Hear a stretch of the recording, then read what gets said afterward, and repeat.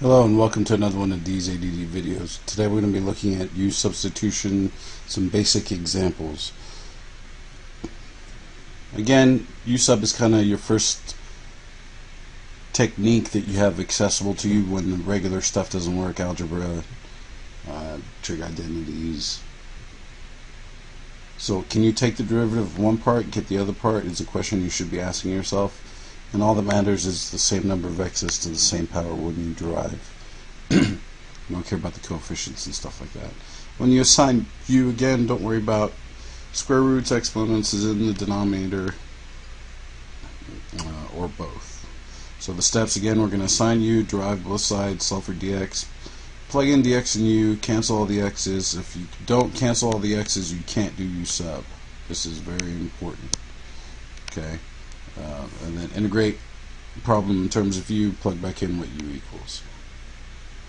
Alright, so let's look at these examples I've already looked at in the concept video. I'm just going to finish them up, up for you, if I can speak English here. so, the next step after you assigned u, u is x squared plus 1 because the derivative of x squared plus 1 is an x term. So if I solve for dx, I get this, and some people will just solve by dividing by 2 and substituting for x dx, whatever makes you happy. I just prefer this method. And when I plug in, I get the x I did nothing with. This is my u, and it's on the bottom and cubed, so my u must also be on the bottom and cubed. What does dx equal? Well, dx equals du over 2x. And if you did everything according to plan, your x's should indeed cancel out, and they do. And what's left is one half comes out in front, you bring this up to the top, and this is a much easier integral than what you started out with. Would you not agree? So now we can integrate their equivalent, their integral. So we have one half u to the negative 3 plus 1 over negative 3 plus 1 plus a constant. Don't forget those constants. Uh, and then you're going to get 1 half u to the negative 2 over negative 2 plus c, which then becomes a negative 1 fourth 1 over u squared plus c, and then u equaled x squared plus 1, so it'd be negative 1 over 4 times x squared plus 1 squared plus c, and that would be your answer. Okay? So let u equal something, derive it, solve for dx, plug and chug, cancel your x's, integrate, and you're good to go. Let's look at this one here. This one here was a little bit more intricate in, in the fact that we had to factor out the 2 right there to make sure that what we had left was indeed going to cancel out. The x plus 2's will cancel out. So what we do now is, again, solve for dx.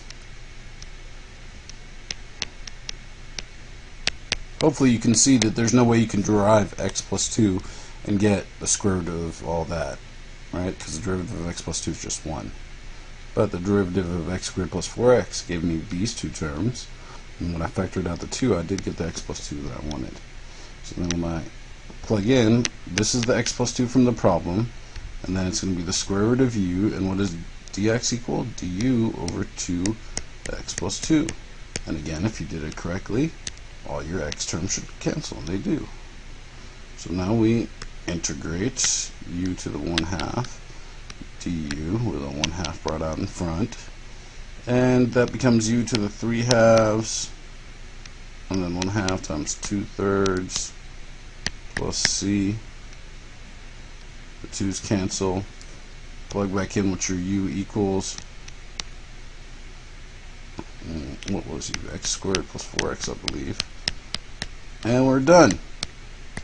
Okay, I know I'm kind of doing these fast, but I want you to get a feel for these and see that there's a pattern pretty much to all of these that uh, you just follow the rhythm. Once you find that one part can equal the other when you drive it, just it's me mechanistic at that point. Just set them equal, derive, solve, plug in, cancel, integrate, plug back in. All right. So again, the rule was if you have one natural log in your problem, then you're going to let u equal uh, your exponent, or I'm sorry, your natural log and uh, the derivative will always be that x that's in the denominator. So in this case, if I multiply by x on both sides, I get x du equals uh, dx. So when I have that, I have the integral of ln, which is my u, and it's on the top, not raised to anything. What is on the bottom, that x that I did nothing with, and what does dx equal? x du. And the x's cancel, and you're left with the integral of u du and that's going to be uh, u squared over 2 plus c, and u was natural log of x. And there's that answer. Okay?